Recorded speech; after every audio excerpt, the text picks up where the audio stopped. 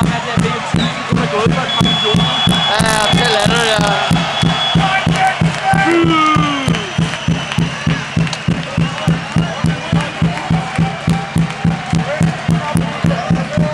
Så skal vi have